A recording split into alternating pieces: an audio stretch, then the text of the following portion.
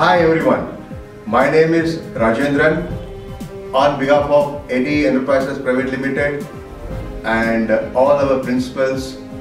It gives me great pleasure to welcome you all to the biggest textile show in India, the India ITME 2016, which will be happening at the NSE grounds in Mumbai from 3rd December to 8th December.